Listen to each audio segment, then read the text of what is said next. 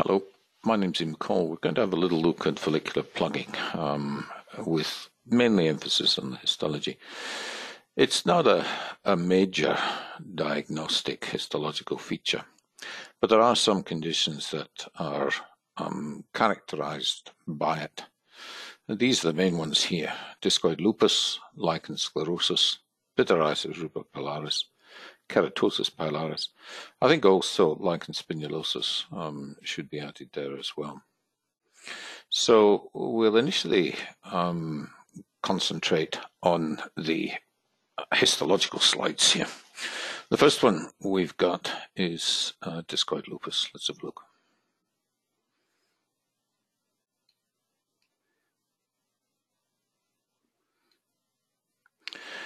Now, here you can see the follicular plugging here.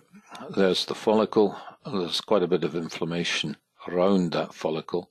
It'll be a lymphocytic infiltrate because in lupus you generally have a mild lichenoid infiltrate here. Um, lichenoid infiltrate also involves the hair follicles and sometimes some of the other adnexal structures as well.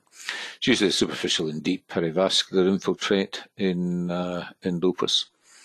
And the follicular plugging is just a, a minor additional feature that you may see. This case obviously has uh, quite a bit of post-inflammatory hyperpigmentation um, associated with it. Clinically, discoid lupus is um, like this. This is an example with really very marked um, scale formation.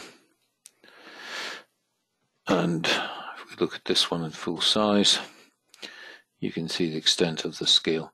There's sometimes a bit of post-inflammatory pigmentation around the outside of uh, these lesions, and this is a late lesion that we're seeing here.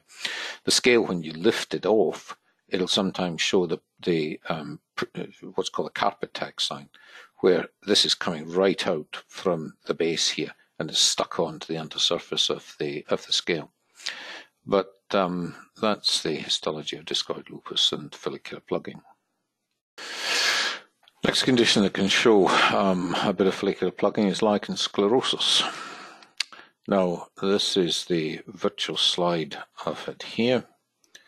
Um, it's a sort of shaved lesion here. You can see the follicular plugging in this portion here with the overlying orthokeratosis.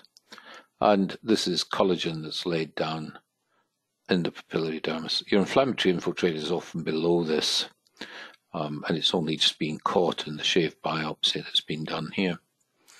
Um, sometimes you'll get sufficient damage in lichen sclerosus at the dermoepidermal junction here to cause separation and splitting of the epidermis, and a bit of uh, um, a bit of hemorrhage into it. You can see there's almost a little bit of splitting occurring here. But this is the follicular plugging that you can see in lichen sclerosus. Now, clinically, um, lichen sclerosus looks like this. This is extragenital. Um, if we have a closer look at uh, this area here, you get the feeling you can see the follicles accentuated here. There's often thinning, wrinkling of the overlying skin, little bit of um, purple erythema around the outside uh, of this area as well. But this is extragenital lichen sclerosus. Uh, but again, follicular plugging is part of it. Next condition to look at is pityriasis rubra pilaris, P-I-L-A-R, pilaris. Um, pityriasis rubra pilaris is a psoriasis sort of look-alike, and it usually begins with scale in the scalp, spreads onto the face, and spreads onto the body. Lesions on the back of the hands and back of the neck will sometimes show a real follicular uh, origin. You'll get small follicular papules there that ultimately join together to form a large plaque.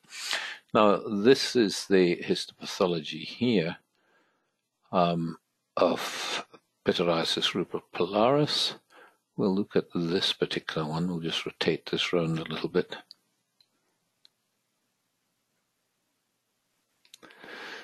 We'll go for this one. Here you can see the plugging of a follicle here.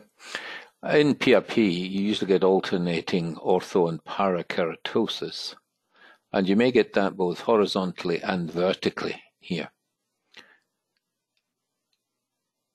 But that's not the element that we're mainly looking at. There's a degree of psoriasiform hyperplasia here as well, so there's a bit of acanthosis.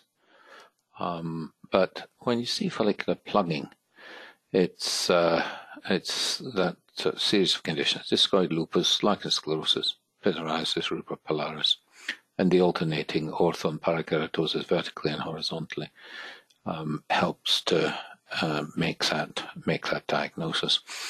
Uh, clinically, pityriasis rubra pilaris, usually in adults, this is a childhood variant of it. You often get islands of sparing, but you're not seeing that so much there. This image down here probably shows the follicular plugging side of it.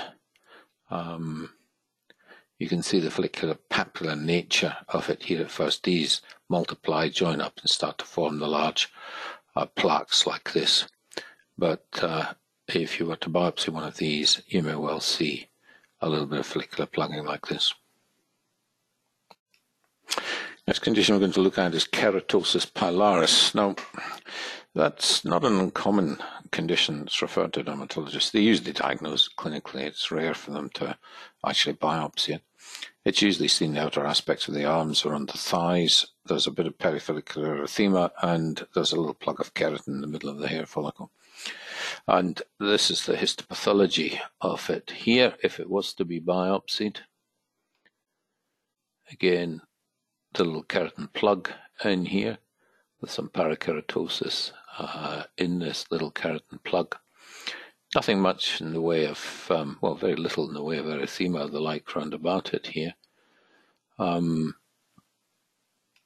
sometimes some dilated vessels to correspond with the perifollicular erythema that you'll see. And clinically, this looks, well, this is three examples. We'll perhaps just go to this one here. And you can see the small um, keratotic nature of this. Not sure if we can get this full size. You can often feel the little plug at the surface here much better than you perhaps can see it in in that particular case. Um, we'll go back and have a quick look at one of the others. Let's look at um, this one here.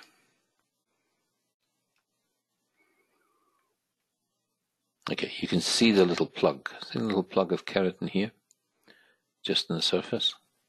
So there's that little bit of acanthosis corresponding to what you're seeing around the outside and the little plug of keratin in the middle of this, um, this area here.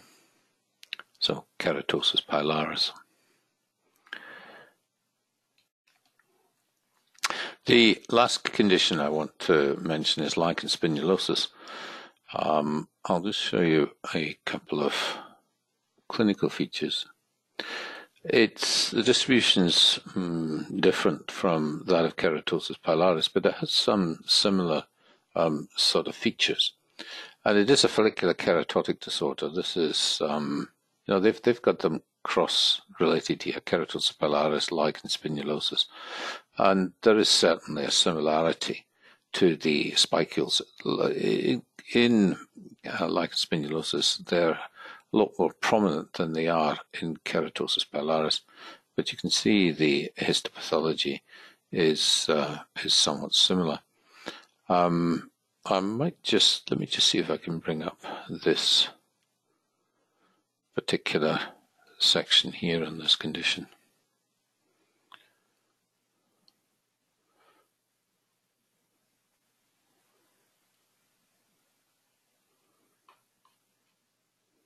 Hmm, haven't got the the picture. My apologies.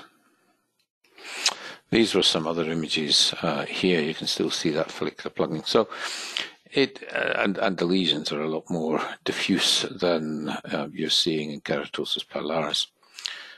Um, so worthwhile thinking of this condition when you're seeing marked follicular uh, plugging as well. So I hope that's helped. Thanks very much.